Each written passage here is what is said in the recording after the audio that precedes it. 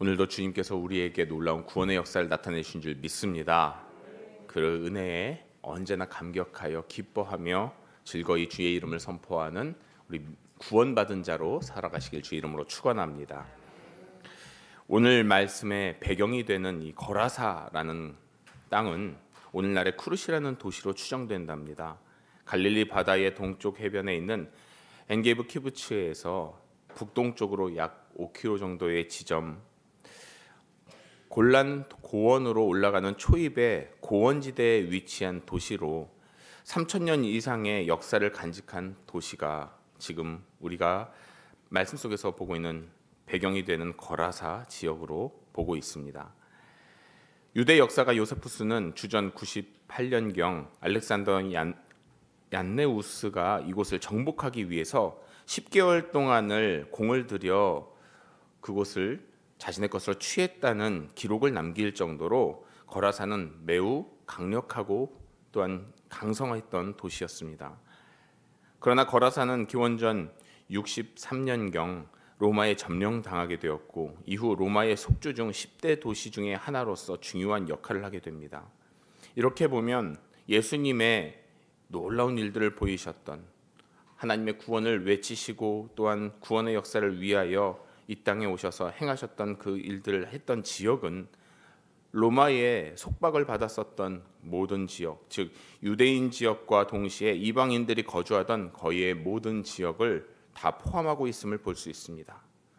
그렇게 그 모든 이들에게 하나, 하늘의 구원을 외쳤다고 말할 수 있습니다. 호수를 건너 거라사인의 땅에 도착한 예수님께서 한 사람을 만납니다. 그러나 예수님이 만난 그 사람의 모습 너무나 비참한 모습이었습니다. 오늘 본문 27절 말씀입니다. 예수께서 육지에 내리심에 그 도시 사람으로서 귀신 들린 자 하나가 예수를 만나니 그 사람은 오래 옷을 입지 아니하며 집에 거하지 아니하고 무덤 사이에 거하는 자라. 예수님 앞에서 서 있는 그는 지금 옷을 입지 않고 벌거벗은 상태로 그것도 오래전부터 벌거벗고 살고 있었던 삶의 모습을 나타내고 있습니다. 그리고 그가 산 곳 다름 아닌 무덤 사이랍니다. 사람들이 가까이 가지 않는 그리고 불결한 곳이었을 것입니다. 오랫동안 무덤 사이에서 제정신이 아닌 상태로 살았다면 온몸이 멀쩡하지도 않았을 것이고요.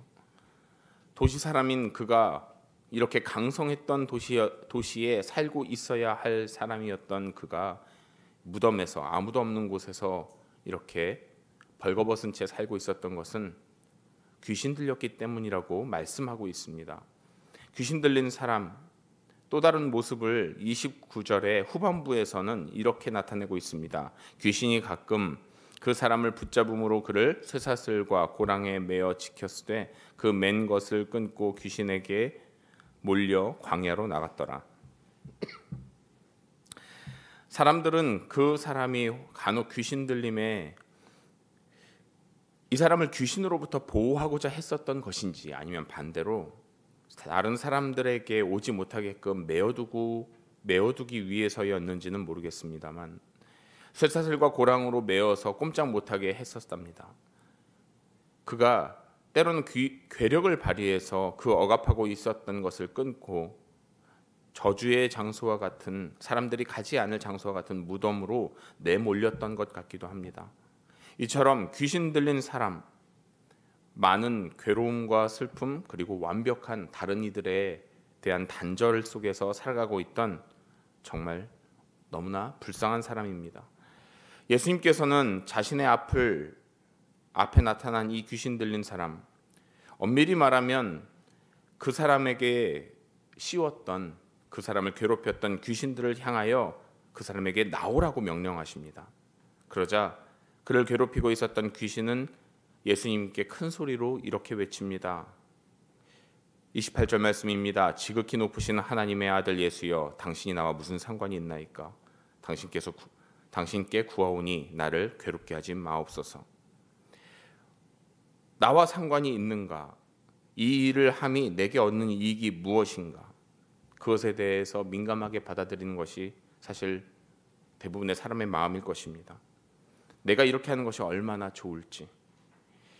우리가 신앙생활 함에 있어서도 사실 그렇지 않습니까? 맨 처음에 하나님을 믿는데 많은 이들이 대부분 이렇게 이런 이유로 교회에 발걸음을 드립니다. 내게 좋은 일이 있을 것을, 내게 이익이 있을 것을 추구하여 신앙을 시작하고 교회의 첫 발을 드밀 때가 많습니다. 어찌 보면 그렇게 생각해서 따지고 볼 때 주님을 믿는다는 것은 별 의미가 없었을 것입니다. 왜냐하면 하나님께서 우리를 구원하신다 하나 어려움, 괴로움, 진정 피할 수 있는 것 아닌 것처럼 여겨질 때가 많기 때문입니다. 사실 예수님도요. 이익을 따지고 보면은 이에게 하시는 모든 일들이 그렇게 큰 의미가 있을런지 모르겠습니다. 하나님께서 이를 구원해서 무슨 이익이 있겠습니까?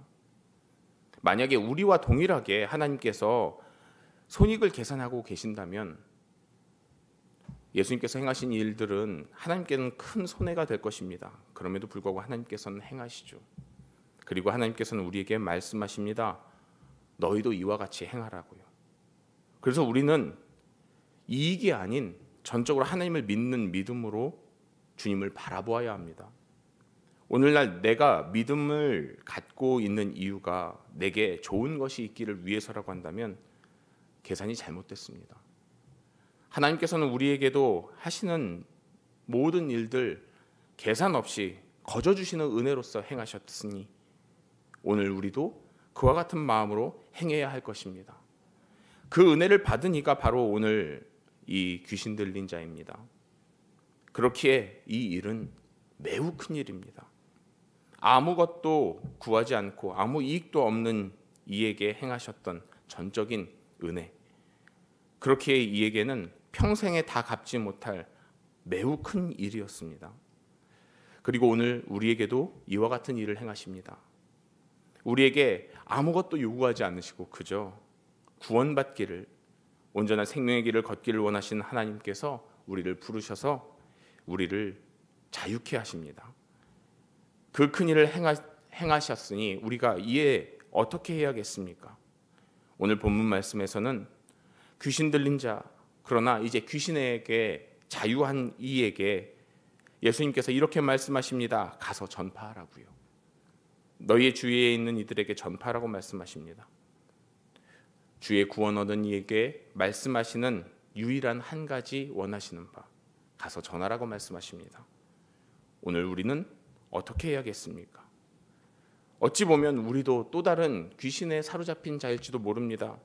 세상의 여러 가지 억압 속에서 내 삶이라는 굴레 속에서 그리고 죽을 수밖에 없는 인생 속에서 사로잡힌 우리가 하나님께서 주신 확실한 구원, 영원한 생명 얻었으니 우리도 어찌 보면 이와 동일한 외침을 명령을 받은 자입니다. 그러면 우리도 해야 할 것이 있을 것입니다. 무엇을 어떻게 전파해야겠습니까? 오늘 우리에게 주어진 이 말씀 오늘 말씀의 제목은 어떻게 큰 일을 행하셨는지를 온 성내에 전파하라입니다. 오늘 말씀을 통해서 우리가 전해야 할 예수님이 어떤 분이신지 또한 우리가 이를 위해서 힘써 전파하기를 결단하는 은혜의 시간으로 삼기를 원합니다. 그 첫째로 모든 것에서의 자유함을 주신 분임을 전해야 합니다. 모든 것에서 자유함을 주신 분임을 전해야 합니다. 예수님께서 귀신을 향해 이름을 묻자 귀신은 군대라고 자신을 밝힙니다. 군대라는 이름 죄송합니다. 헬라어로 레기온이라고 부르는데 이 단어는 일차적으로 귀신의 말과 같이 많다라는 의미가 있습니다. 당시에 사용되던 군사적인 언어로서 보병과 기병 그리고 그 밖에 보조기구로 구성된 로마 제국의 군단을 가리킬 때에 이와 같은 표현을 했답니다. 그 군대는 보통 6천 명 정도로 구성이 되고 있는데 그래서 신학자들 사이에서는 이 귀신을 내어 쫓는 역사가 단순히 개인에 대한 일뿐만 아니라 사회적으로 로마 제국에 억눌려 있었던 당시의 상황을 묘사한 것으로 해석합니다. 본문에서의 예수님의 이 귀신을 내어 쫓는 놀라운 일은 단순히 한 개인의 자유함 그것만을 이야기하는 것이 아니라 로마 제국으로부터의 핍박받고 있는 온 사회가 예수님의 이 놀라운 일을 통해서 자유를 얻게 될 것임을 시사한다고 말하기도 합니다. 이 의미를 그대로 우리의 믿음에 적용한다면 어떻겠습니까? 우리를 억누르고 있는 이 시대의 레기온 이와 같은 것이 무엇이 있을까요? 사람을 사람답게 살지 못하게 하는 모든 것을 통틀어서 지칭한다고 할 때 우리는 너무나 쉽게 찾아볼 수 있습니다. 이기주의, 시기 질투, 미움과 다툼, 또한 전쟁과 그리고 우리의 삶 속에 있는 여러 가지의 욕심들에 이렇게 보면은 오늘날 우리도 대부분 다 어찌 보면 귀신 들린 사람처럼 살아가고 있는 것 같습니다. 이러한 귀신 들린 사람들 살리기 위해서 예수님께서는 풍랑이 몰아치는 호수를 건너셔서 그를 지배하고 있던 군대 귀신을 내쫓아 몰살시키신 거라사인의 땅에 도착하셔서 이에 모든 것들을 새롭게 하십니다. 자유케 하십니다.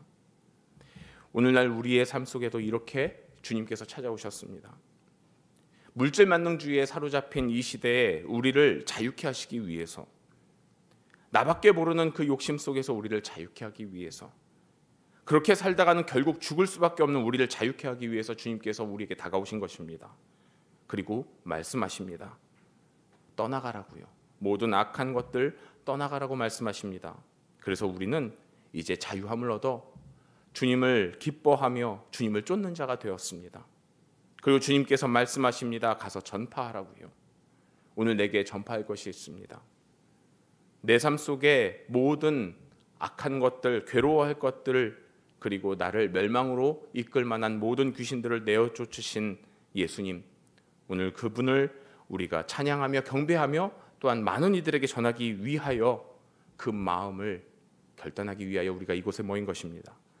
그 마음을 붙잡고 또한 힘써 나아가 전하실 수 있기를 바랍니다. 이것이 주님께서 우리에게 향하신 마음 원하시는 명령인 줄 믿습니다. 둘째로 우리에게 진정한 구원을 주신 분이십니다. 우리에게 진정한 구원을 주신 분이십니다. 거라사인들은 오늘 사건의 전말을 듣고 예수님을 믿고 함께 이를 쫓아 그 생명의 길 가기를 원하기보다는 예수님께 떠나라고 요구합니다. 그들은 자신의 재산의 손실을 입힌 이 예수님 필요치 않았던 것 같습니다. 아니 도리어 싫어했던 것 같습니다. 거사인들은 그들을 영원한 생명의 나라로 이끄시는 예수님 구원 그것과는 전혀 상관없는 삶을 살고자 합니다. 그리하여 자신의 위대하심과 구원을 확연하게 드러내고 계시는 예수님을 보면서도 예수님을 거부하는 모습이 오늘 본문에 나타나 있습니다. 오늘날 많은 사람들이 이러합니다.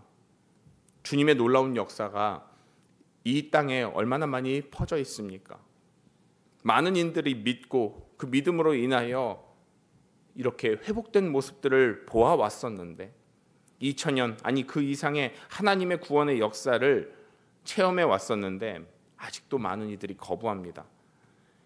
이러한 이들에게 하나님께서는 우리를 보내신 것이고 우리에게 그의 합당한 일을 할 것을 요청하십니다.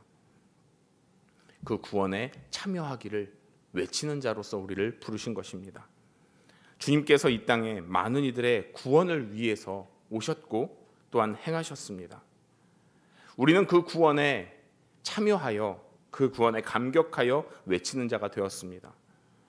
하나님께서는 우리에게 그래서 그 구원을 받은 자로서의 삶을 요구하시고 그에 합당한 증거로서 드러내는 증인의 삶을 살기를 원하십니다. 주님께서 우리를 구원하셨습니다. 어떻게 구원하셨는지 우리는 잊지 말아야 하며 또한 저들을 저 거라사인과 같이 주님을 외면하고 도리어 싫어하는 이들에게 구원하실 것을 외치는 자가 되라고 말씀하십니다. 그 증거가 바로 요나서입니다. 요나에게 말씀하신 바와 같이 가서 외치랍니다. 너의 원수일지라도 하나님과 상관없이 살아가는 이들에게라도 저 멸망을 그 안에서 구원하실 하나님의 역사를 외치랍니다. 오늘 우리는 그 외쳐야 할 존재입니다. 왜냐하면 저들도 구원받아야 하기 때문입니다. 내가 구원받은 것처럼 저들도 구원을 받아야 할 대상 주님의 사랑의 대상이기 때문입니다. 구원하시기를 원하셔서 이 땅에 있는 온 인류뿐만 아니라 모든 피조물을 구원하시기 위하여 우리를 보내고 계시니 기쁜 마음으로 즐거운 마음으로 전파할 수 있기를 원합니다. 구원의 하나님께서 내 삶에 역사하신 것처럼 말입니다. 오늘도 힘써 그 구원을 나타내시는 구원받은 자로서 살아가는 우리 모든 성도님들 되시기를 간절히 기도합니다. 끝으로 주의 큰 일을 전파하는 자가 되라 말씀하십니다. 주의 큰 일을 전파하는 자가 되라 말씀하십니다. 우리를 억누르고 있었던 이 레기온으로부터 자유케 된 우리가 어떤 삶을 살아야 할지 분명히 오늘 보면 38절부터 39절까지에 나타나 있습니다. 제가 이 부분을 다시 한번 읽어드립니다. 귀신 나간 사람이 함께 있기를 구하였으나 예수께서 그를 보내시며 이르시되 집으로 돌아가 하나님이 내게 어떻게 큰 일을 행하셨는지를 말하라 하시니 그가 가서 예수께서 자기에게 어떻게 큰 일을 행하셨는지를 온 성내에 전파하니라. 귀신 나간 사람이 온 성내에 전파한 것 다름 아닌 예수님께서 자신에게 행하신 일입니다. 다시 말하면 귀신 들렸던 자신이 어떻게 해서 정상인이 되었는지 온전한 하나님의 영을 품은 사람이 되었는지에 대해서 전파한 것입니다. 오늘날 우리의 삶이 바로 이와 같아야 될 것을 명령하시는 것입니다. 우리는 주님께 붙들림 바 되어 주의 능력의 손길로 말미암아 온전한 태초에 만드신 하나님의 영이 부어진 사람으로 다시 회복되었습니다. 세상의 악한 것으로 사로잡혔다가 이제 자유케 되었습니다. 이것을 세상에 보이라고 말씀하십니다. 내 삶 자체가 증거가 되어야 합니다. 내가 살아가는 모든 걸음이 곧 하나님께서 역사하신 구원의 역사 그리고 모든 것의 자유함을 누리는 자의 삶의 모습이 되어야 합니다. 그렇게 된 자만이 이와 같은 큰 일을 전파하는 자가 될 수 있고 이와 같은 역사에 참여한 자, 그 자는 그냥 살아가는 그 모습이 곧 하나님의 증거가 될 것입니다. 우리는 그와 같은 일들을 감당해야 할 존재입니다. 왜냐하면 주께서 구원하셔서 구원받은 자로서 말씀하셨으니까요. 증거가 있으십니까? 그러면 그 증거를 당당히 보이시길 바랍니다. 세상의 많은 사람들에게 보이셔서 진정 구원받은 자가 바로 나라고 자랑하시길 바랍니다. 그러한 은혜의 삶을 살아가야 할 이가 바로 나이니 그 모습을 기뻐하며 주님께 감사로 오늘 이 시간 고백하시고 주님의 영광에 참여하기 위하여 나아가 힘써 전파하시는 주님의 구원받은 자로 오늘을 살아가시기를 주의 이름으로 축원합니다. 기도하겠습니다. 자비하신 하나님, 우리가 살아가야 할 온전한 삶을 살아가는데 주의 손길, 주의 도움 없이는 살아갈 수 없음을 고백합니다. 귀신 들린 사람과 다름없는 이 세상의 모든 삶, 그곳에서 자유케 하시기 위하여 우리를 위하여 피 흘리셨으니 그 피의 능력으로 말미암아 내가 이 세상의 악한 레기온에서 자유했음을 고백합니다. 주여 우리의 모든 것을 온전케 하신 주님 감사로 영광 돌리고 오늘도 힘써 주님의 은혜를 주께서 행하신 놀라운 그 큰 일을 선포하기를 원하오니 우리의 모든 삶을 주의 증거로 삼아 주옵소서. 그 믿음의 길을 걸어가는 주의 복된 백성들이 여기 있사오니 이들의 모든 삶 속에 끊임없는 기쁨과 감사가 있게 하여 주시고 이 모든 일들로 말미암아 세상이 주를 알 수 있도록 증인된 삶 살 수 있도록 인도하여 주옵소서. 내게 행하신 그 크신 일 오늘도 기뻐하고 감사하기를 원하여 주 앞에 내 삶을 모두 드리는 마음으로 예물을 드립니다. 이 드리는 손길 기억하여 주시고 이 손길을 통하여 아버지의 놀라운 역사가 또한 일어나 많은 이들이 구원에 참여할 수 있도록 주여 함께 하시고 귀히 사용하여 주옵소서. 오늘도 우리를 통하여 세상에 널리 주의 놀라우신 일을 선포하시는 그 역사가 내게 기쁨이 되고 즐거움이 되면 고백하오며 감사함으로 구원의 길 쫓기를 원하오며 예수 그리스도의 이름으로 기도합니다. 아멘.